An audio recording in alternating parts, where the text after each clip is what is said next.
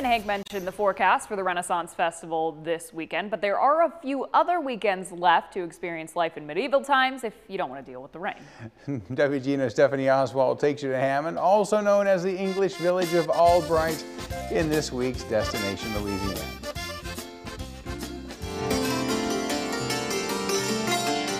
Every autumn, an English village appears in Hammond taking visitors back to the 16th century with dancing, drumming, falconry, and feasting. Come early and wear comfortable shoes. Come prepared to have a good time because we're, we're, we're going to make that happen. The entire family can come and everybody can have a good time.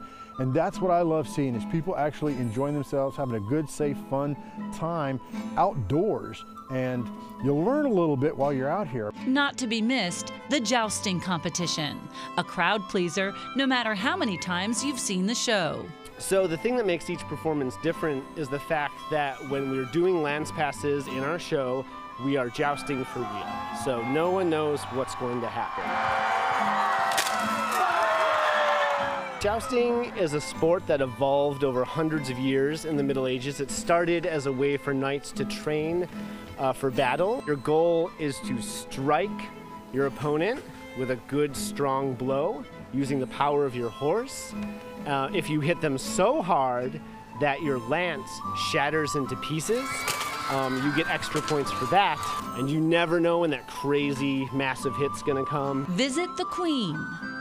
Catch a parade. Get a henna tattoo.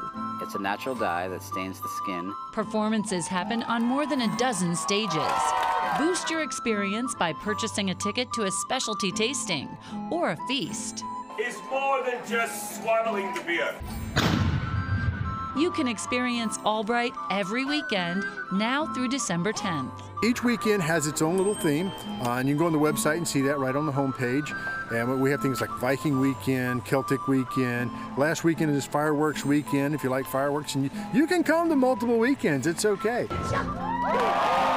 With this week's Destination Louisiana, I'm Stephanie Oswald. For more medieval fun, join us at the Ren Fest later this month. WGNO News is on the road from the village of Albright. That airs November 22nd. You can catch it after WGNO News at 6 and again at 9 on our sister station, NOLA 38.